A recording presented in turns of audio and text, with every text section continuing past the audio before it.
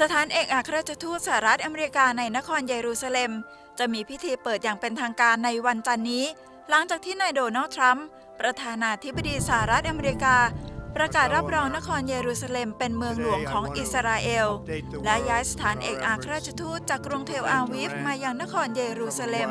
ซึ่งกลายเป็นประเด็นร้อนที่ทำให้นานาชาติไม่เห็นด้วย เนื่องจากปาเลสไตน์ก็อ้างกรรมสิทธิ์ดินแดนฝั่งตะวันออกของนครเยรูซาเล็ม เพื่อเป็นเมืองหลวงในอนาคตเช่นกัน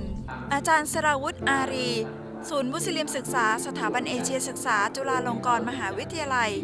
มองว่าการกระทำของทรัมป์ จะนำไปสู่ความแตกแยกทางความคิดของประชาคมโลก ประเด็นออของปาเลสไตน์หรือแม้แต่การย้ายเมืองหลวงของอิสราเอลมาสู่นครเยรูซาเล็มเนี่ยถือว่าเป็นเรื่องเซนซิทีฟที่อาจจะนำไปสู่ความขัดแย้งในระดับประชาชน นั่นหมายถึงว่าประชาชนคนในโลกอาหรับหรือในโลกมุสลิมเนี่ยอาจจะลุกฮือขึ้นมาต่อต้านการกระทำนี้ของสหรัฐอเมริกา แล้วก็จะเกิดกระแสต่อต้านอเมริกันที่มันเข้มข้นมากยิ่งขึ้นนะครับ ความร้อนแรงในภูมิภาคตะวันออกกลาง ที่เกิดขึ้นจากการแทรกแซงของสหรัฐ คุกกรุ่นขึ้นอีกจุดที่อิหร่าน หลังจากทรัมป์ประกาศถอนตัวออกจากข้อตกลงนิวเคลียร์อิหร่านเมื่อสัปดาห์ที่ผ่านมา และจะใช้มาตรการคว่ำบาตรที่รุนแรงต่ออิหร่านแทน การกระทำของทรัมป์จะส่งผลให้บทบาทของสหรัฐ ในฐานะเป็นผู้สร้างสันติภาพในตะวันออกกลางลดลง และจะเปิดทางให้มหาอำนาจอื่นเข้ามาแสดงบทบาทแทน เช่น รัสเซีย ฝรั่งเศสและจีน คือหลังจากที่ทรัมป์ได้ได้ตัดสินใจถอนตัวออกมาจากนิวเคลียร์อิหร่านเนี่ยผมคิดว่าประเด็นความขัดแย้งในเรื่องของ proxy war หรือสงครามตัวแทนในภูมิภาคตะวันออกกลางจะเพิ่มมากยิ่งขึ้น อันเนื่องมาจากว่าอิหร่าน ซึ่งเป็นตัวแสดงสำคัญแล้วก็เข้าไปมีส่วนเกี่ยวข้องกับสงครามสำคัญสำคัญ ไม่ว่าจะเป็นซีเรียในเยเมนในหลาย ๆ ประเทศในอิรักเนี่ยนะฮะก็คงจะตอบโต้สหรัฐอเมริกาจากการที่สหรัฐอเมริกาถอนตัวจากข้อตกลงเนี่ยอิหร่านอาจจะมีมาตรการทางการทหาร เข้มข้นมากขึ้นในการที่จะต่อสู้กับสหรัฐอเมริกาในในสมรภูมิรบต่าง ๆ ที่เป็นสงครามตัวแทน รองศาสตราจารย์สมชายพักพาสวิวัฒน์นักวิชาการอิสระ มองว่าสหรัฐกดดันให้อิหร่านลดความแข็งกร้าวลง เพราะอิหร่านสนับสนุนกลุ่มฮิสบอลเลาะซึ่งเป็นสิ่งที่อิสราเอลไม่ต้องการ และเกิดการโจมตีระหว่างอิสราเอลกับอิหร่านขึ้นแล้วบนที่ราบสูงโกลันตะวันออกกลางจะเป็นปัญหาในระยะสั้นและกลางคือว่า อิหร่านตอนนี้นะครับมีฐานนะฮะแล้วก็สนับสนุนในสิ่งที่อิสราเอลไม่ต้องการ ก็คือสนับสนุนเฮสโบราในเรบานอน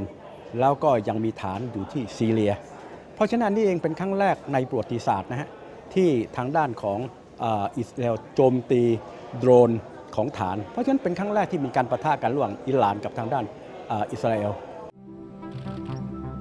นอกจากผลกระทบด้านภูมิศาสตร์การเมืองโลกแล้ว ยังส่งผลกระทบทางอ้อมไปทั่วโลก โดยเฉพาะราคาน้ำมันที่ผันผวน และยังส่งผลต่ออัตราการแลกเปลี่ยนและตลาดหุ้นด้วย รองศาสตราจารย์นรงเพชรประเสริฐ อาจารย์ประจำคณะเศรษฐศาสตร์จุฬาลงกรณ์มหาวิทยาลัย มองว่าความไม่สงบของโลกมุสลิมอาหรับ ส่งผลกระทบโดยตรงกับไทย ความไม่สงบที่เกิดขึ้นในอิรักก็ตามในอิหร่านก็ตาม ในซีเรียก็ตาม ในลิเบียก็ตามแต่นะ ประเทศเหล่านี้เคยเป็นประเทศที่เคยซื้อขายสินค้าไทยนะอย่างมีนัยสำคัญพอสมควรนะเออ เราพบว่าเมื่อสงครามเหล่านี้เกิดขึ้นเนี่ยความไม่สงบตรงนี้เนี่ยทำให้สินค้าบางตัวขายไม่ออกนะสินค้าที่ลดลงชัดเจนนี่นะก็เป็นพวกตู้เย็นพัดลมนะอะไรเหล่านี้นะเพราะว่าเป็นสินค้าอุปโภคบริโภคที่ประชาชนเขาซื้อ เมื่อยอดขายลดลงทำให้โรงงานผลิตสินค้าเหล่านี้ ไม่จ้างแรงงานทำงานล่วงเวลา คนงานจึงมีรายได้ลดลง และทำให้ไม่มีเงินส่งให้ครอบครัวในต่างจังหวัด สถานการณ์ร้อนในตะวันออกกลางทำให้ชาวอาหรับบางส่วนต่อต้านสหรัฐอเมริกามากขึ้น และยังส่งแรงกระเพื่อมต่อภูมิศาสตร์การเมืองโลกอย่างหลีกเลี่ยงไม่ได้ ปารณีจันทรกุลข่าวเจาะย่อโลกไทย PBS รายงาน